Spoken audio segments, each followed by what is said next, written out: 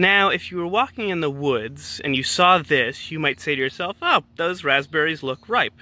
And you'd try to grab one for a nice tasty snack. Now, unfortunately, that's not the case. It won't kill you, but these aren't ripe. And that is because while this specific raspberry is red, this is not a red raspberry plant.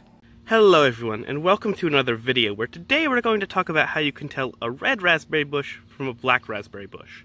While these two plants are very easy to identify as edible, they are very difficult to tell apart. Being able to tell that these are edible is a prerequisite, so if you're unsure about that, please look at either my videos on red raspberries and black raspberries, or someone else's videos. I'll leave a link in the description to those. Now this right here is a red raspberry plant. Unfortunately, it's not a very good example because this plant in particular, if you look at the flower heads, it looks as though this particular plant got hit with some kind of blight or just had suboptimal conditions and didn't really produce a lot of fruit this year. And the fruit that it did produce, while edible, is kind of weird looking and not what you would generally expect. Now, as I said before, these two plants look almost identical. The leaves, at least to me, look exactly the same, and the stem is on the red raspberries often more copper colored and on the black raspberries more purplish but they still tend to look kind of similar. Black raspberry stems can look a little bronzish and as you can see here red raspberry stems can have a little purple tinge to them.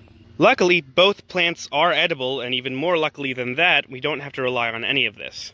And that is because raspberries naturally sort of release from the plant when they're ripe. If I were to go over to this black raspberry bush thinking it was a red raspberry and try to pull the berry off, you see, the plant tries to come with it. It doesn't actually release. And you can tear it off and you can eat it when it's red like this, but it doesn't taste very good. By contrast, if you look over here at this red raspberry, I can fairly easily just pull it off. So that's basically the rule of thumb. For any raspberry, if you can pull it off of the plant and it comes off readily, it's ripe. If it's not, it's probably a black raspberry you're mistaking for a red. And if you mistake the two, you're in good company. I actually tend to get more red raspberries per year than black raspberries, even though black raspberries are more common, because the birds can't tell them apart and they think these are unripe black raspberries. Anyway, I hope you guys learned something and enjoyed. See ya.